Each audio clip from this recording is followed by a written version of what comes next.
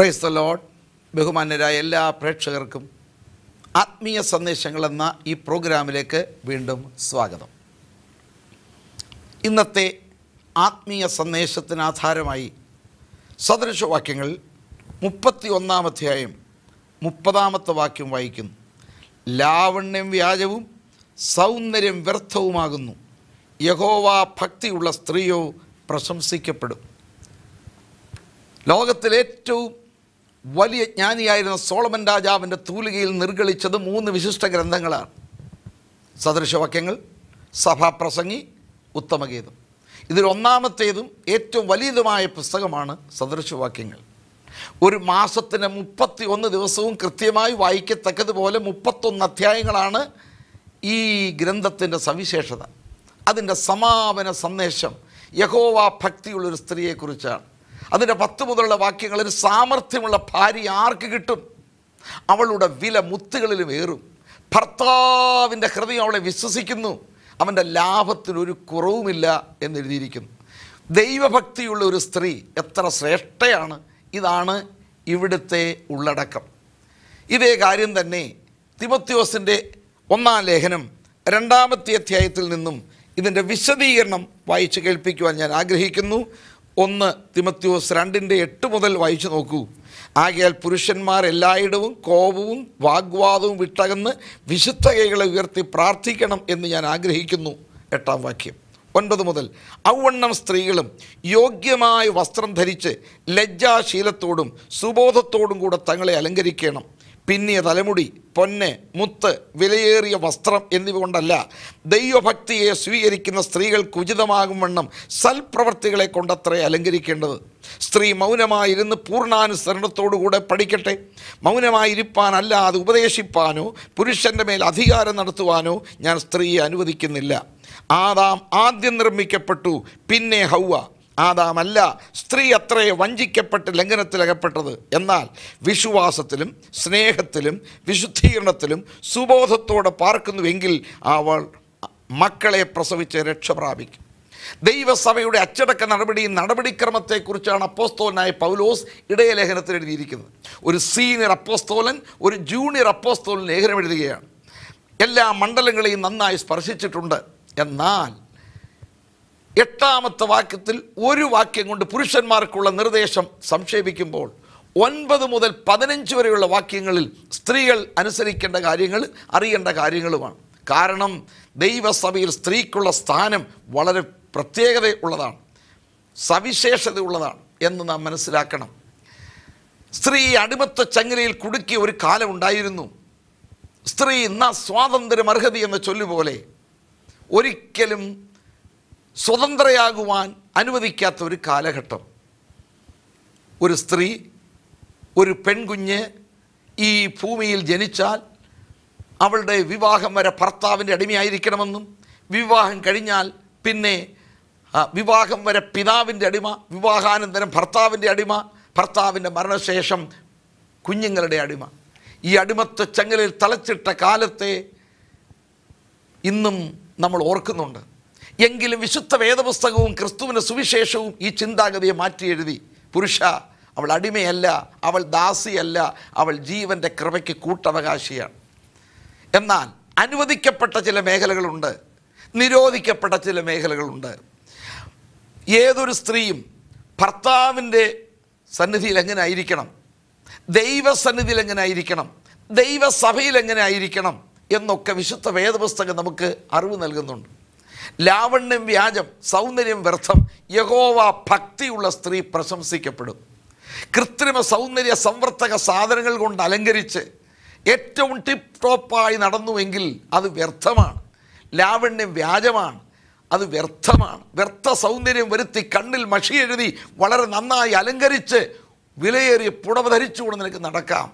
പക്ഷെ ദൈവസന്നിധിയിൽ നീ പ്രശംസിക്കപ്പെടുകയില്ല. യഥാർത്ഥമായ ദൈവഭക്തി കേവലം കപടഭക്തിയല്ല പാരമ്പര്യ ഭക്തിയല്ല വെറും മതഭക്തിയല്ല അമിത ഭക്തിയല്ല യഥാർത്ഥമായ ദൈവഭക്തി. വേദപുസ്തകത്തിന്റെ വളപ്പിനുള്ളിൽ നിൽക്കുന്നതും ക്രിസ്തുവിൽ കേന്ദ്രീകരിച്ചതും വിശുദ്ധ ജീവിതം ചെയ്യുന്ന ആന്തരിക വിശുദ്ധി അങ്ങനെയുള്ള സ്ത്രീ ദൈവസന്നിധിയിൽ പ്രശംസിക്കപ്പെടും. അവളുടെ വ്യക്തിപരമായ ജീവിതം അവളുടെ കുടുംബജീവിതം അവളുടെ സമൂഹ ജീവിതം ആത്മീയ ജീവിതം എന്നിവയിലേക്ക് അല്പമായി വിരൽ ചൂണ്ടുവാൻ ആഗ്രഹിക്കുന്നു. നമുക്ക് സദൃശവാക്യങ്ങൾ പതിനാലാം അധ്യായത്തിന്റെ ഒന്നാം വാക്യം വായിച്ചാൽ വിവേകമുള്ള ജ്ഞാനമുള്ള ഒരു സ്ത്രീ ഭവനം പണിയുന്നു എന്നാൽ ജ്ഞാനമില്ലാത്ത അവൾ പോഷത്വമായവൾ അത് പൊളിച്ചു കളയുന്നു എഴുതിയിരിക്കുന്നു. സദൃശവാക്യം പതിനാലിന്റെ ഒന്ന് സ്ത്രീകളിൽ ജ്ഞാനമുള്ളവൾ തന്റെ വീട് പണിയുന്നു. പോഷത്വമുള്ളവളോ അത് സ്വന്തം കൈകളാൽ പൊളിച്ചു കളയുന്നു വീട് പണിയുന്ന ഒരു സ്ത്രീയെ കാണൂ. അത് പൊളിച്ചു കളയുന്ന മറ്റൊരു സ്ത്രീയെ കാണൂ. ശക്തി കൂടുതൽ വേണ്ടത് വീട് പണിയാനല്ല പൊളിക്കാനാണ്. പക്ഷെ ബുദ്ധി കൂടുതൽ വേണ്ടത് പൊളിയാനല്ല പണി പണിയുവാൻ വേണ്ടിയാണ്. വീട് പണിയുന്ന വിവേകമുള്ള സ്ത്രീ വീട് പൊളിച്ചു കളയുന്ന പോഷത്വമുള്ള സ്ത്രീ. നോക്കുക പതിനൊന്നാമത്തെ അധ്യായത്തിന്റെ ഇരുപത്തിരണ്ടാം വാക്യത്തിലും വ്യക്തി ജീവിതത്തിൽ ജ്ഞാനത്തിന്റെ പ്രാധാന്യം കാണാം. വിവേകമില്ലാത്ത ഒരു സുന്ദരി പന്നിയുടെ മൂക്കിൽ പൊൻമൂക്കൂത്തി പോലെ. ഒരു സൗന്ദര്യമുള്ള സ്ത്രീയാണ് പക്ഷേ വിവേകമില്ല. പന്നിയുടെ മൂക്കിൽ പൊൻമൂക്കൂത്തി പോലെയാണ്. അപ്പോൾ വിവേകം ജ്ഞാനം എന്നുള്ളത് ഒരു സ്ത്രീക്ക് ഏറ്റവും വലിയ ഭൂഷണമാണ്. കൃത്രിമ സൗന്ദര്യ സംവർത്തക സാധനങ്ങളെക്കാളും ബാഹ്യ അലങ്കാരത്തെക്കാളും ആഡംബരത്തെക്കാളും ദൈവസന്നിധിയിൽ വിലമതിക്കപ്പെട്ടത് ബുദ്ധിയുള്ള വിവേകമുള്ള ജ്ഞാനമുള്ള പരിജ്ഞാനമുള്ള ഒരു സ്ത്രീയാണ്. അതെങ്ങനെ ലഭിക്കുമെന്ന് വേദപുസ്തകത്തിൽ നന്നായി പറയുന്നുണ്ട്. യേശു ക്രിസ്തു ജ്ഞാനത്തിന്റെയും പരിജ്ഞാനത്തിന്റെയും നിക്ഷേപമാണ്. കൊലോസ് ലേഖനം രണ്ടിന്റെ ആദ്യത്തെ പാരഗ്രാഫ് നോക്കൂ. വിവേകപൂർണതയുടെ സമ്പത്താണ് ക്രിസ്തു. അവനിലല്ലോ ജ്ഞാനത്തിന്റെയും പരിജ്ഞാനത്തിന്റെയും നിക്ഷേപങ്ങളൊക്കെയും ഗുപ്തമായിട്ടിരിക്കുന്നത്. യേശു ക്രിസ്തുവിനെ ഹൃദയസ്ഥമാക്കുമ്പോൾ ജ്ഞാനവും വിവേകവും പരിജ്ഞാനവും ലഭിക്കുന്നു. വിശുദ്ധ വേദപുസ്തകം വായിച്ചാൽ നൂറ്റി പത്തൊൻപതാം സങ്കീർത്തനം തൊണ്ണൂറ്റി ഒൻപത് നൂറ് വാക്യങ്ങൾ വായിച്ചാൽ നിന്റെ പ്രമാണങ്ങളെ ഞാൻ ആരായുന്നു? വചനത്തിൽ ഞാൻ പ്രമോദിക്കുന്നു. നിന്റെ വചനം എന്റെ ധ്യാനമാകൊണ്ട് സകല ഗുരുക്കന്മാരിൽ ഞാൻ ബുദ്ധിമാനാകുന്നു. അതിനെ അനുസരിക്കിയാൽ വയോധികന്മാരിലും വിവേകമേറിയവനാകുന്നു വായിക്കുന്നു. അജ്ഞനെ ജ്ഞാനിയാക്കുന്ന തിരുവഴുത്ത് വിശുദ്ധ വേദപുസ്തകം നന്നായി വായിച്ച് പഠിച്ച് ധ്യാനിച്ചാൽ നിനക്ക് വിവേകം ലഭിക്കുന്നു. കൂടാതെ ആ വായിച്ച് ധ്യാനിക്കുന്ന വചനം അനുസരണിക്കുവാൻ മനസ്സുണ്ടോ? എങ്കിൽ നിനക്ക് ബുദ്ധി ഉണ്ടാകുന്നു പിന്നെ കോരിന്തിരക്കെഴുതി ഒന്നാം ലേഖനം പന്ത്രണ്ടിന്റെ ഏഴ് എട്ട് വാക്യങ്ങളിൽ പരിശുദ്ധാത്മാവ് ഇച്ഛിക്കും പോലെ ജ്ഞാനത്തെയും പരിജ്ഞാനത്തെയും പകർന്നു കൊടുക്കുന്നു. അപ്പോൾ ലോകജ്ഞാനത്തിൽ നിന്ന് വ്യത്യസ്തമാണ് ആത്മീയ ജ്ഞാനം. ലോകത്തിൽ ധാരാളം കാര്യങ്ങൾ ഗവേഷണം ചെയ്ത് കണ്ടുപിടിക്കുന്നുണ്ട്. അസ്ട്രോളജി ബയോളജി സുവോളജി വാനശാസ്ത്രം ഭൂമിശാസ്ത്രം ഭൂഗർഭശാസ്ത്രം വളരെ നന്നായി അത് പുരോഗതിയിലെത്തുകയാണ്. വിജ്ഞാനത്തിൽ മനുഷ്യൻ കുതിച്ചു പായുകയാണ്. പക്ഷെ അത് ലൗകിക ജ്ഞാനമാണ്. ലോകജ്ഞാനം വളരെ പ്രയോജനം ചെയ്യും. പക്ഷേ മൂക്കിൽ ശ്വാസമുള്ള കാലം വരെ ഉള്ളൂ. പ്രതീക്ഷിക്കാത്ത സമയത്ത് പ്രതീക്ഷിക്കാത്ത പ്രായത്തിൽ പ്രതീക്ഷിക്കാത്ത സ്ഥലത്ത് വെച്ച് നീ ലോകത്തോട് വേർപെട്ടു പോകും. പിന്നെ പ്രയോജനം ചെയ്യുന്നത് ആത്മീയ ജ്ഞാനം മാത്രമേ ഉള്ളൂ. ഈ ആത്മീയമായ ജ്ഞാനമാണ് ഇവിടുത്തെ വിവക്ഷ. ആ ബുദ്ധി നിനക്ക് ഉണ്ടെങ്കിൽ നിനക്ക് നന്നായി വീട് പണിയുവാൻ കഴിയും. ബുദ്ധി ഇല്ലെങ്കിൽ അത് പൊളിക്കും. അപ്പോൾ വ്യക്തിപരമായ ജീവിതത്തിൽ ബുദ്ധി വേണമോ? ക്രിസ്തുവിൽ കൂടെ ലഭിക്കുന്നു. പരിശുദ്ധാത്മാവിന്റെ സഹായത്താൽ ലഭിക്കുന്നു. ദൈവവചനത്തിന്റെ പാരായണത്താൽ ലഭിക്കുന്നു. ദൈവവചനം അനുസരിക്കുന്നതിനാൽ ലഭിക്കുന്നു. Fear of the lord is the beginning of wisdom യഹോവ ഭക്തി ജ്ഞാനത്തിന്റെ ആരംഭമാകുന്നു. ദൈവഭക്തി ഉണ്ടോ? ആ നീ പ്രശംസിക്കപ്പെടും വിവേകമെന്ന് പറയുന്നത് ദൈവഭക്തി മൂലം ലഭിക്കുന്നു. യാക്കോബ് തന്റെ ലേഖനത്തിൽ പറയുന്നു നിങ്ങളിൽ ഒരാൾക്ക് ജ്ഞാനം കുറവാകുന്നുവെങ്കിൽ ഫൽസിക്കാതെ എല്ലാവർക്കും ഔദാര്യമായി കൊടുക്കുന്ന ദൈവത്തോട് യാചിക്കണം. അപ്പോൾ സ്വർഗസ്ഥനായ ദൈവം നൽകും. അപ്പോൾ പ്രാർത്ഥന മൂലം ലഭിക്കുന്നു ജ്ഞാന സമ്പാദനത്തിന് അനേക വഴികളാണുള്ളത്. ക്രിസ്തുവിൽ കൂടെ പരിശുദ്ധാത്മാവിൽ കൂടെ ദൈവവചനത്തിൽ കൂടെ വചനം അനുസരിക്കുന്നതിൽ കൂടെ ഭക്തി ജീവിതത്തിലൂടെ ദൈവത്തിന് സ്തോത്രം. അതുപോലെ തന്നെ പ്രാർത്ഥനയിലൂടെയൊക്കെ ജ്ഞാനം ലഭിക്കും. വിവേകമുള്ള സ്ത്രീ പ്രശംസിക്കപ്പെടുമെന്ന് എഴുതിയിരിക്കുന്നു. പേഴ്സണൽ ലൈഫ് ബുദ്ധിയാണ് ആവശ്യം. ഇനിയും മുന്നോട്ട് നോക്കിയാൽ വിശ്വസ്തത. ഭർത്താവിന്റെ ഹൃദയം അവളെ വിശ്വസിക്കുന്നു. കുടുംബജീവിതത്തിൽ ഭർത്താവിനോട് പ്രതിബദ്ധത ഉള്ളവളാണവൾ. ഭർത്താവിന്റെ ഹൃദയം വിശ്വസിക്കുന്നു. ഏത് സമയം എന്റെ ലാഭത്തിന് ഒരു കുറവുമില്ല എന്നാണ് നാം വായിക്കുന്നത്. പിന്നെ വിശുദ്ധ ജീവിതം വിനയ മനോഭാവം. മനസ്സിലായോ? സിയോന്റെ പുത്രിമാർ നികളി ചേറ് കണ്ടിട്ടുകൊണ്ട് നടക്കുന്നു തത്തി തത്തി നടക്കുന്നു അഹങ്കാരികളായി നടക്കുന്ന ഒട്ടേറെ ആളുകൾ. സോതോമിന്റെ അതിക്രമത്തെക്കുറിച്ച് എഹസ്കേൽ പതിനാറിന് നാൽപ്പത്തൊൻപതിൽ എഴുതിയിരിക്കുന്നു ഗർവമായ മനോഭാവം അത് അപകടത്തിലേക്ക് നയിക്കുന്നു. നികളി ചേറ് കണ്ടിട്ടുകൊണ്ട് തത്തിത്തത്തി നടക്കുന്നു സൗന്ദര്യ സംവർത്തക സാധനങ്ങൾ കൊണ്ട് അലങ്കാരം വർദ്ധിപ്പിക്കുന്നു യഹോവ അവരുടെ നെറ്റിക്ക് അവരെ ചൊറി പിടിപ്പിക്കുമെന്നും അവരുടെ മേൽ ദൈവത്തിന്റെ ക്രോധം വരുമെന്ന് എഴുതിയിരിക്കുന്നു. വിനയം ഒരു സ്ത്രീക്ക് ഭൂഷണമാണ്. വിശ്വസ്തത അവൾക്ക് ഭൂഷണമാണ്. വിവേകം അവൾക്ക് ഭൂഷണമാണ്. അവളുടെ സ്വാധീനത. പത്രോസിന്റെ ഒന്നാം ലേഖനം മൂന്നാം അധ്യായത്തിൽ എഴുതിയിരിക്കുന്ന എന്താ? ഭാര്യമാരെ നിങ്ങളുടെ ഭർത്താക്കന്മാർക്ക് കർത്താവിന് ഉചിതമാകുമെണ്ണം കീഴടങ്ങിയിരിപ്പീൻ. അവരിൽ വല്ലവരും വചനമനുസരിക്കാത്ത പക്ഷം ഭയത്തോടുകൂടിയ നിങ്ങളുടെ നിർമ്മലമായ നടപ്പ് കണ്ടറിഞ്ഞ് വചനം കൂടാതെ ഭാര്യമാരുടെ നടപ്പിനാൽ ചേർന്ന് ഒരുവനിടയാകും. എന്തൊരു സ്വാധീനതയാണ് ഒരു സ്ത്രീയുടെ ജീവിതത്തിൽ നോക്കുക. ദൈവവചനത്തിന്റെ പ്രാധാന്യം എത്രയുമാണ് എന്റെ വചനം തീ പോലെയും പാറയെ തേർക്കുന്ന ചുറ്റിക പോലെയുമല്ലയോ? ഇത് തീയാണ് ചുറ്റികയാണ്. എബ്രായർ നാലിന്റെ പന്ത്രണ്ടിൽ ഇരുവായുത്തലുള്ള ഏത് വാളിനേക്കാളും മൂർച്ചയുള്ളതാണ്. ഇത് തീയാണ് ഇത് വാളാണ് ഇത് ചുറ്റികയാണ്. ഇത്ര ശക്തിയുള്ള ദൈവവചനം പ്രസംഗിച്ചിട്ട് മാനസാന്തരപ്പെടാത്ത ചില ഭർത്താക്കന്മാരും. പത്രോസ് എഴുതിയിരിക്കുകയാണ് ഭയത്തോടുകൂടിയ നിങ്ങളുടെ നിർമ്മലമായ നടപ്പ് കണ്ടറിഞ്ഞ് ശാലീനതയുള്ള സൗമ്യതയുള്ള ശാന്തതയുള്ള പ്രാർത്ഥനയുള്ള ഒരു തരുണീമണി ഒരു ഉത്തമ ഭാര്യയുടെ സൗമ്യതയും ശാന്തതയും പ്രാർത്ഥനയും സകലശക്തിയും കണ്ടാൽ ആ സ്ത്രീയുടെ നല്ല ജീവിതം കണ്ടുകൊണ്ട് ഭർത്താവ് തിരിഞ്ഞു വരുമെന്ന്. അതല്ലാതെ ഒരു മാർഗവുമില്ല. മദ്യപാനിയും ദുർനടപ്പുകാരനും ഒരു ഭർത്താവിനെ ഇടിച്ചും അടിച്ചും ദണ്ണിപ്പിച്ചും ചവിട്ടിയും തൊഴിച്ചും രൂപാന്തരപ്പെടുത്തിയ ഒരു സ്ത്രീയുടെ പേര് പറയാമോ? സാധിക്കുകയില്ല. തളികയെടുത്തെറിഞ്ഞ് പാത്രമെടുത്തെറിഞ്ഞ് ഭർത്താവിനെ രൂപാന്തരപ്പെടുത്തിയ ഒരു സ്ത്രീയുടെ പേര് പറയാമോ? സാധിക്കുകയില്ല. ഇരുമ്പുകോൽ കൊണ്ട് അടിച്ച് നന്നാക്കാൻ ഒക്കുകയില്ല. ശാഠ്യം കൊണ്ടും ദുരഭിമാനം കൊണ്ടും എറിഞ്ഞതുകൊണ്ടും സാധിക്കുകയില്ല. പക്ഷേ പ്രാർത്ഥന മൂലം ശാലീനത സൗമ്യത ശാന്തത ദീർഘക്ഷമ മൂലമായി ചേർന്ന് വരുവാനിടയാകും. അതാണ് സ്വാധീനത എന്ന് പറയും അപ്പോൾ വ്യക്തി ജീവിതത്തിൽ അവൾ ആരാണ്? വിവേകമുള്ളവൾ വിശ്വസ്തതയുള്ളവൾ പ്രാർത്ഥനയുള്ളവർ സൗമ്യതയുള്ളവൾ യഹോവ ഭക്തിയുള്ള സ്ത്രീയോ പ്രശംസിക്കപ്പെടും. ഇത് പേഴ്സണൽ ലൈഫാണ് ഇനി ഫാമിലി ലൈഫിലേക്ക് നോക്കൂ. നൂറ്റി ഇരുപത്തെട്ടാം സങ്കീർത്തനം. യഹോവയെ ഭയപ്പെട്ട് അവന്റെ കൽപ്പനകളിൽ ഇഷ്ടപ്പെടുന്ന മനുഷ്യൻ അവന്റെ വഴികളിൽ നടക്കുന്ന മനുഷ്യൻ ഭാഗ്യവാനാണ്. അവന്റെ ഭാര്യ വീട്ടിനകത്ത് ഫലപ്രദമായ മുന്തിരിവള്ളിയാണ്. മക്കൾ മേശയ്ക്ക് ചുറ്റും ഒലുവിതൈകളാണ്. പുറത്തുപോയി പണി ചെയ്യുന്ന പുരുഷൻ അകത്ത് പാർക്കുന്ന സ്ത്രീയാണ് അന്നത്തെ സംസ്കാരം ഇന്നും സംസ്കാരം അങ്ങനെ തന്നെയാണ്. എന്നാൽ ഭവനത്തിലെ അന്തരീക്ഷം വളരെ നന്നായി അവൾ സൂക്ഷിക്കുന്നു. അടുക്കും ചിട്ടയുമുള്ളൊരു ജീവിതം.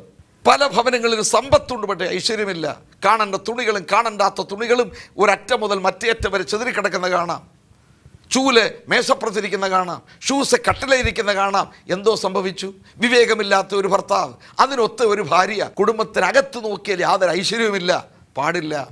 യഹോവയായ ദൈവം തമ്പുരാൻ ഈ വിശുദ്ധിയും കൂടെ നോക്കുമായിരുന്നു. പഴയ നിയമത്തിൽ ദൈവം പറയുന്നു നിന്റെ പാളയത്തിൽ അശുദ്ധി കാണരുത്. ശരിയായ നിലയിൽ ക്ലീനും നീറ്റുമായിരിക്കണം നീ. എല്ലാ കാര്യങ്ങളിലും അല്ലെങ്കിൽ അശുദ്ധി കണ്ടിട്ട് ഹോവ കടന്നു പോകുവാനിടയാകരുത് cleanness is next to godliness യഥാർത്ഥ ദൈവഭക്തി ഉണ്ടോ അടുക്കും ചിട്ടയും ഉണ്ടായിരിക്കണം. വീട് കണ്ടാലൊരു ഐശ്വര്യം ബെഡ് കണ്ടാലൊരു ഐശ്വര്യം മുറിക്കകത്ത് കയറിയാലൊരു ഐശ്വര്യം വീട്ടിനകത്ത് ഫലപ്രദമായ മുന്തിരിവള്ളിയായിരിക്കുവാൻ ഒരു ഭാര്യയ്ക്ക് കടപ്പാടുണ്ട്.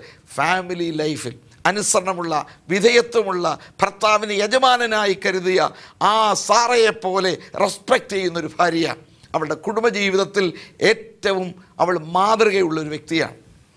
ഇനിയും അവളുടെ സോഷ്യൽ ലൈഫ് സാമൂഹ്യ ജീവിതം. ബോവസിന്റെ വയലിൽ ജോലി ചെയ്ത പണി ചെയ്ത ആ രൂത്തിനെ നോക്കിക്കൊണ്ട് ബോവസ് പറയുന്നത് ഒരു വാചകമുണ്ട്. കേട്ടോ മകളെ പെറുക്കുവാൻ വേറെ വയലിൽ പോകണ്ട. ഇവിടം വിടുകയും വേണ്ട. ഇവിടെ ബാല്യക്കാരത്തികളോട് ചേർന്ന് നിൽക്കൂ. ചില ദിവസങ്ങൾക്ക് ശേഷം പറയുന്നു നീ ഒരു ഉത്തമ സ്ത്രീ എന്ന് എന്റെ പട്ടണക്കാർക്ക് മുഴുവനും അറിയാം. ബോവസിന്റെ വയലിൽ തന്നെയാണ് അവൾ നിൽക്കുന്നത്. മറ്റൊരു വയലിൽ അവൾ പോകുന്നില്ല. ബോവസിന്റെ ബാല്യക്കാരത്തുകളോട് കൂടെയാണ് കൂട്ടായ്മ. പക്ഷേ ദേശത്ത് മുഴുവനും സാക്ഷ്യമുണ്ട്. അതാണ് രണ്ട് കോരിന്ത് രണ്ടിന്റെ പതിനഞ്ചിൽ. രക്ഷിക്കപ്പെടുന്നവരുടെ ഇടയിലും നശിക്കുന്നവരുടെ ഇടയിലും ഞങ്ങൾ ദൈവത്തിന് ക്രിസ്തുവിന്റെ സൗരഭ്യവാസനയാകുന്നു. അപ്പോൾ ഒരു നല്ല സാക്ഷ്യം ദേശത്തുണ്ട്. ഒരു ഉത്തമ സ്ത്രീക്ക് ഭവനത്തിനകത്തൊരു സാക്ഷ്യമുണ്ട് ദേശത്തൊരു സാക്ഷ്യമുണ്ട് കുടുംബത്തിൽ അവൾ ഫലപ്രദമായ മുന്തിരിവള്ളിയാണ് ദേശത്ത് സാക്ഷ്യമുള്ളവളാണ്.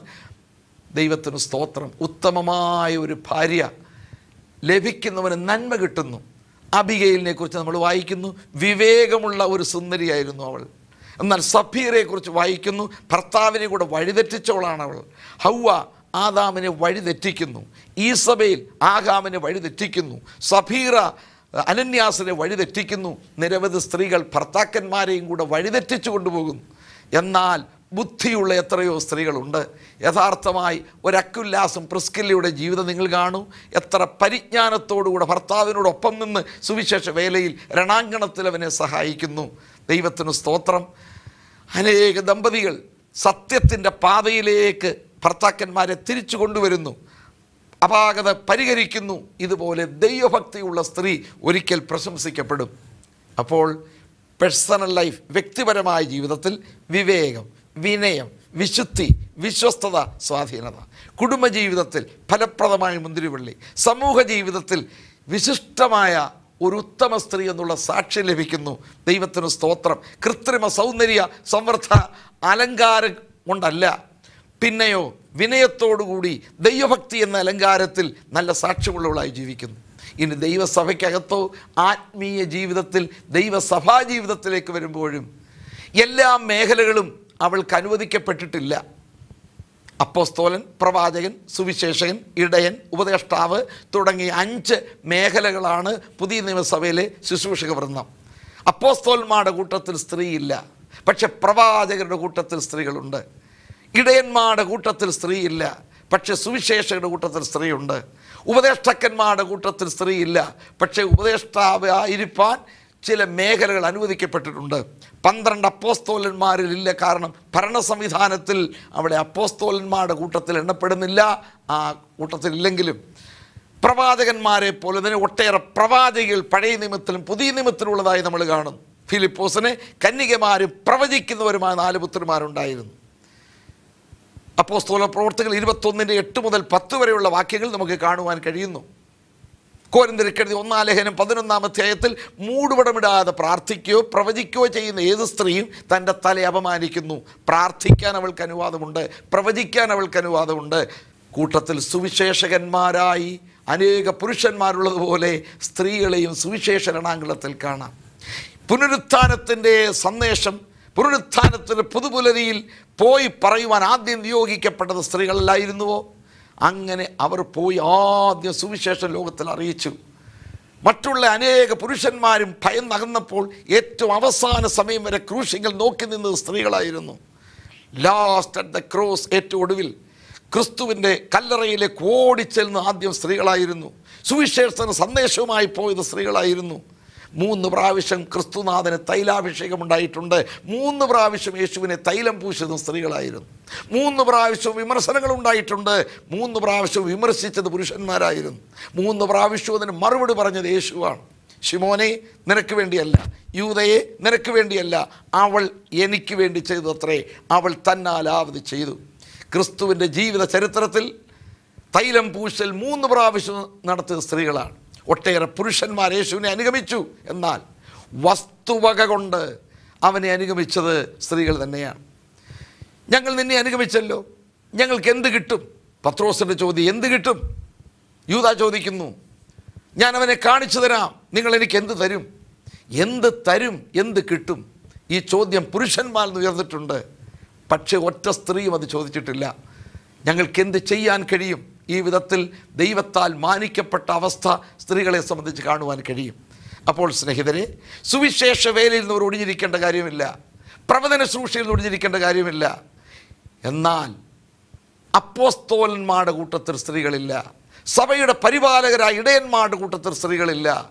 സുവിശേഷം അറിയിപ്പാനും പ്രവചനം ചെയ്യുവാനും അവർക്ക് ദൈവം അനുവാദം കൊടുത്തിട്ടുണ്ട്. എന്നാൽ ടീച്ചർ ഉപദേഷ്ടാവെന്നുള്ള നിലയിൽ പരിമിതിപ്പെട്ട ചില കാര്യങ്ങളുണ്ട്. ഒന്ന് അവൾക്ക് ഉപദേഷ്ടാവായിരിക്കാം ആദ്യമായി വീട്ടിൽ തന്നെ. അമ്മയപ്പന്മാർക്ക് മക്കളെ ഉപദേശിക്കുവാനുള്ള അനുവാദമുണ്ട്. മാതാപിതാക്കൾ ഒരുമിച്ച് കൂടി തന്നെ മക്കളെ വിളിച്ച് നടക്കേണ്ടുന്ന വഴി അവർക്ക് കാണിച്ചു കൊടുക്കണം. ആവർത്തനം ആറിന്റെ ആറും ഏഴിലും ഇന്ന് ഞാൻ നിന്നോട് കൽപ്പിക്കുന്ന ഈ വചനങ്ങൾ നിന്റെ ഹൃദയത്തിലിരിക്കണം. അവയെ നീ നിന്റെ മക്കൾക്ക് ഉപദേശിച്ചു കൊടുക്കണം. വീട്ടിലിരിക്കുമ്പോഴും വഴി നടക്കുമ്പോഴും കിടക്കുമ്പോഴും എഴുന്നേൽക്കുമ്പോഴും നീ അവയെക്കുറിച്ച് നിന്റെ മക്കൾക്ക് ഉപദേശിച്ചു കൊടുക്കണം. ഇത് മാതാവും പിതാവും ഒരുമിച്ച് ചെയ്യേണ്ട കാര്യമാണ്. അപ്പോൾ മക്കളെ ഉപദേശിപ്പാൻ മാതാക്കൾക്ക് അനുവാദമുണ്ട്. ഇനിയും തിമത്യോസിന്റെ ജീവിതത്തിൽ അമ്മയും വലിയമ്മയും പ്രശംസിക്കുന്നില്ലേ? ആ വിശ്വാസം നിന്റെ അമ്മയിലുണ്ടായിരുന്നു. നിന്റെ വലിയമ്മയിലും ഉണ്ടായിരുന്നു. അത് നിന്നിലുമുണ്ട്. തിമത്യോസിന്റെ അപ്പൻ ആരായിരുന്നു? ഒരു യവനനായിരുന്നു. അവന്റെ അമ്മ ഒരു യഹൂദ സ്ത്രീ ആയിരുന്നു പക്ഷേ യവനനായ അപ്പനല്ല. ഈ ഈ പൈതലിനെ സ്വാധീനിച്ചത് അമ്മയുടെ ആ വിശ്വാസമാണ് അവനിലേക്ക് സ്വാധീനിച്ചത്. മാതാവും വല്യമ്മച്ചിയും അതുപോലെ തന്നെ ദൈവവചനം പഠിപ്പിച്ച് കൊടുത്തിരുന്നുവെന്ന് സാരം തിമത്യോസിന്റെ ജീവിതത്തിൽ സ്വാധീനിച്ചത് അങ്ങനെയാണ്. സുവിശേഷകനായി ഫിലിപ്പോസിന്റെ ചരിത്രം നോക്കൂ. അദ്ദേഹം എപ്പോഴും ഭവനത്തിൽ തന്നെ പാർക്കുന്ന ആളല്ലല്ലോ. ഒരു ദിവസം എരുശലേമിൽ അദ്ദേഹത്തെ കാണാം അടുത്ത ദിവസം അദ്ദേഹത്തെ ശബരിയിൽ കാണാം അടുത്ത ദിവസം അദ്ദേഹത്തെ അസ്തോതിൽ കാണാം അടുത്ത ദിവസം അദ്ദേഹത്തെ കൈസരിയിൽ കാണാം. ഇങ്ങനെ വിവിധയിടങ്ങളിൽ സഞ്ചരിച്ച് സഞ്ചരിച്ച് പോകുന്ന സുവിശേഷകൻ. പക്ഷേ അദ്ദേഹത്തിന്റെ നാല് പെൺമക്കളും ദൈവകൃപയുള്ളവരായിരുന്നു. വളരെ പ്രാർത്ഥിക്കുന്നവരായിരുന്നു. എന്താ തെളിവ്? പ്രവചനപരമുള്ളവരായിരുന്നു. പ്രവചനപരം പരിശുദ്ധാത്മാവ് ഇച്ഛിക്കും പോലെ പകുത്തു കൊടുക്കുന്നതല്ലേ? ആകയാൽ ദൈവത്തിന്റെ ആത്മാവിന് നിറവുള്ളവരായിരുന്നു. അവർ ജലസ്നാനമായിരുന്നു എന്ന് നമുക്ക് തെളിയിക്കാൻ ഒരു പ്രയാസവുമില്ല.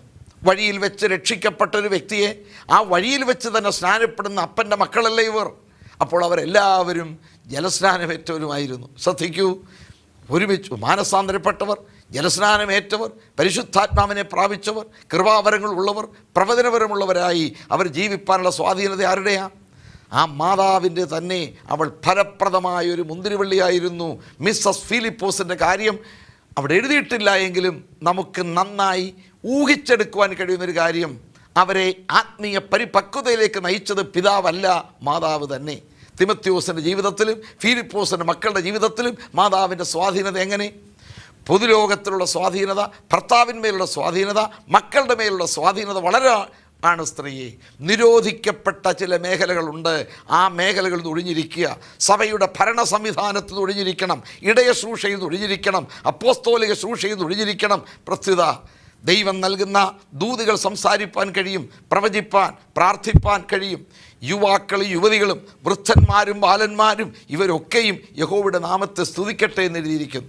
യുവാക്കൾക്ക് മാത്രമല്ല യുവതികൾക്കും ദൈവത്തിന് സ്തോത്രം ചെയ്യാൻ കഴിയും. അങ്ങനെ ആത്മാവിൽ നിറഞ്ഞ് ദൈവത്തെ ആരാധിക്കുന്നവരുടെ കൂട്ടത്തിൽ ആ പെന്തക്കോസ്ത നാളിൽ കാത്തിരുന്നവരുടെ കൂട്ടത്തിൽ എത്രയോ പുരുഷന്മാരോടൊപ്പം സ്ത്രീകളും കാത്തിരുന്നു ആത്മാവിന്റെ ശക്തി പ്രാപിച്ചു. അതുകൊണ്ട് നിരോധിക്കപ്പെട്ട ഒട്ടേറെ മേഖലകളിൽ ഒഴിഞ്ഞിരിക്കുകയും അനുവദിക്കപ്പെട്ട മേഖലകളിൽ ശരിയായ നിലയിൽ അത് ഉപയോഗിക്കുകയും ചെയ്യുവാൻ സ്ത്രീക്ക് അനുവാദമുണ്ട്. അവൾ നിശ്ചയമായി ഒരടിമയല്ല അവൾ ദാസിയല്ല ജീവന്റെ കൃപയ്ക്ക് കൂട്ടവകാശിയാണ്. ജീവന്റെ കൃപയ്ക്ക് കൂട്ടവകാശിയാകയാൽ ഒട്ടേറെ ആത്മീയ മണ്ഡലങ്ങളിൽ പ്രയോജനപ്പെടുവാനിടയായി തീരും എന്നുള്ള വസ്തുത നമ്മൾ വിസ്മരിക്കരുത്. ഒരു ഉത്തമ ഭാര്യയായിരിക്കാൻ ഉത്തമ മാതാവായിരിക്കാൻ ഒക്കെയും അവൾക്ക് നിശ്ചയമായിട്ടും അനുവാദമുണ്ട്. ഇനി തീത്തോസന ലേഖനം രണ്ടാമത്തെ അധ്യായത്തിലേക്ക് വരൂ. വൃദ്ധന്മാരെയും വൃദ്ധമാരെക്കുറിച്ച് അവിടെ എഴുതിയിട്ടുണ്ട്. വൃദ്ധമാരെന്ത് ചെയ്യണം? ഇളയ സ്ത്രീകളെ പഠിപ്പിക്കണം. പാതിവൃത്യമുള്ളവരായിരിക്കാൻ ഭർത്താവിനെ അനുസരിപ്പാൻ ഭർത്തൃപ്രിയമാരായിരിക്കാൻ തക്കതുപോലെ ഇളയ സ്ത്രീകളെ പരിശീലിപ്പിക്കുവാൻ വേണ്ടിയുള്ള പ്രബോധനം തീത്തോസൻ ലേഖനത്തിൽ കാണുവാൻ കഴിയും. അങ്ങനെ ഇളയ സ്ത്രീകളെ അവർ പരിശീലിപ്പിക്കുന്നു. ഭർത്താക്കന്മാർക്ക് കീഴടങ്ങിയിരിക്കണം. ദയുള്ളവരായിരിക്കണം സുബോധമുള്ളവരായിരിക്കണം എന്നിങ്ങനെ മൂത്ത സ്ത്രീകൾ ഇളയ സ്ത്രീകളെ പരിശീലിപ്പിക്കണം. അപ്പോൾ ടീച്ചിങ് മേഖലകളിൽ മൂന്ന് സ്ഥാൻ രീതിയിൽ ഒരു സ്ത്രീ അനുവദിച്ചിട്ടുണ്ട്. ഒന്ന് അമ്മയെ അമ്മയായിരിക്കവേ മക്കളെ പഠിപ്പിക്കാം. രണ്ട് മൂത്ത സ്ത്രീകൾ ഇളയ സ്ത്രീകളെ പഠിപ്പിക്കാം. ഇനി മൂന്നാമത് അക്കുല്ലാസ് പ്രിസ്കില്ല ദമ്പതികളുടെ മാതൃകയാണ്. ഒരു പ്രസംഗം കേൾക്കുകയാണ് അപ്പല്ലോസിന്റേത്. നല്ല ഊർജസ്വലതയുള്ള പ്രസംഗങ്ങൾ ആയിരുന്നെങ്കിലും ചില വിഷയങ്ങളെക്കുറിച്ച് തനിക്ക് അറിവില്ലായിരുന്നു ആ യോഗത്തിൽ ഇവർ അക്കുല്ലാസും പ്രസ്കില്ലെ ഒരുപോലെ അറ്റൻഡ് ചെയ്തു. അതിനുശേഷം അദ്ദേഹത്തെ ഭവനത്തിലേക്ക് വിളിച്ചു സൽക്കരിച്ചു. അതിനുശേഷം ഭർത്താവിനോടൊപ്പം ഇരുന്ന് അവർ രണ്ടുപേരും ദൈവവചനം പറഞ്ഞു മനസ്സിലാക്കി. അത് മറ്റൊരു മാതൃകയാണ്. ഭർത്താവിനോട് ചേർന്ന് നിന്നുകൊണ്ട് ഒരുമിച്ച് ഈ വന്ന അതിഥിയോട് ദൈവത്തിന്റെ വചനം പറഞ്ഞ് മനസ്സിലാക്കി സത്യപാത ഗ്രഹിപ്പിച്ചു കൊടുത്തു. അങ്ങനെ മൂന്ന് രീതിയിൽ ഒരു സ്ത്രീക്ക് ഉപദേഷ്ടാവായിരിക്കാം. അമ്മ എന്ന നിലയിൽ മക്കളെ മൂത്ത സ്ത്രീ എന്നുള്ള നിലയിൽ ഇളയ സ്ത്രീകളെ. കൂടാതെ ഭർത്താവിനോടൊപ്പം നിന്ന് വചനം അറിയിക്കുവാനും അനുവാദമുണ്ട്.